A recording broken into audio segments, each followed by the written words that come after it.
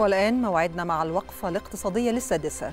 أخبار المال والأعمال ومحمد عبد الله إليك محمد. شكرا سارة وشكرا يوسف. والآن إلى أخبار الاقتصاد محليا وعربيا وعالميا.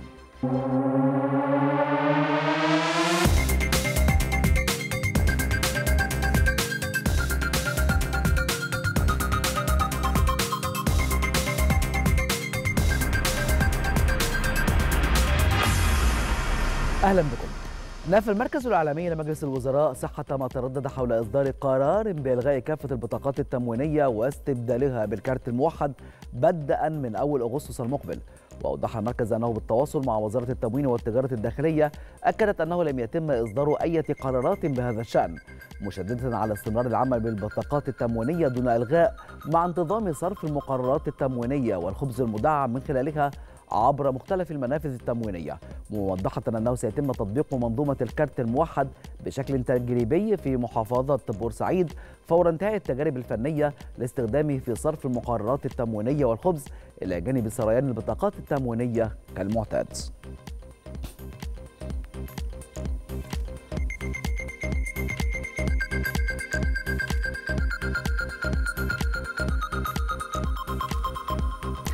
أعلنت الهيئة العامة للمنطقة الاقتصادية لقناة السويس عن نجاح تنفيذ خدمة تموين سفن حاويات بميناء غرب بورسعيد تزامنا مع عمليات التداول للسفينة بمحطة بورسعيد لتداول الحاويات. وتعد هذه العملية هي الأولى من نوعها في تموين السفينة بالتوازي مع حركة الأوناش وعمليات التفريغ أثناء الرسو على الرصيف ما يعكس الجهود المبذولة المشتركة بين المنطقة الاقتصادية لقناة السويس ممثلة في إدارة ميناء غرب بورسعيد والتنسيق مع هيئة قناة السويس وشركة بورسعيد لتداول الحاويات لتنفيذ هذه العملية بنجاح.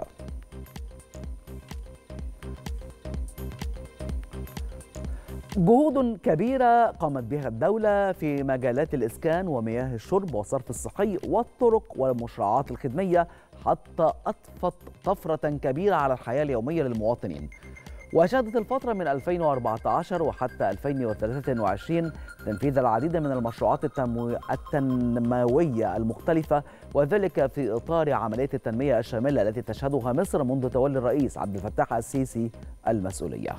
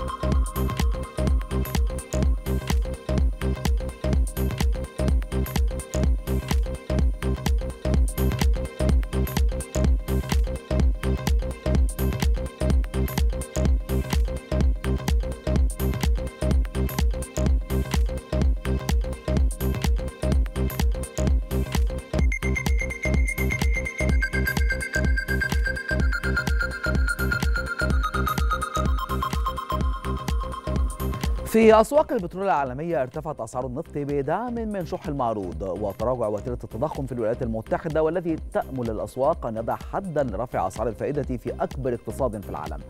وارتفعت العقود الأجل الخام برنت بنسبة 3% لتصل إلى 81 دولارا و63 سنتا للبرميل كما ارتفع خام غرب تكساس الوسيط الأمريكي بنسبة نصف نقطة مئوية ليصل إلى 77 دولارا و24 سنتا للبرميل وارتفعت كذلك أسعار المازوت عالميا بنسبة 22% لتصل إلى دولارين و61 سنتا للتر كما ارتفعت أسعار الغاز الطبيعي بنسبة 2.24% لتصل إلى دولارين وستة سنتات لكل مليون وحدة حرارية بريطانية. ارتفعت بورصات الإمارات إذ يتوقع المستثمرون أن البنك الفيدرالي الأمريكي يقترب من نهاية دورة رفع أسعار الفائدة كما ارتفع النفط فوق 81 دولار للبرميل بعد اضطراب الإمدادات في ليبيا ونيجيريا. وصعد مؤشر أبو ظبي نصف نقطة مئوية ليواصل مكاسبه للجلسة الثالثة على التوالي. كما ارتفع مؤشر دبي واحد من عشرة بالمئة مدعوما في الأساس بصعود أسهم القطاعين المالي والصناعي.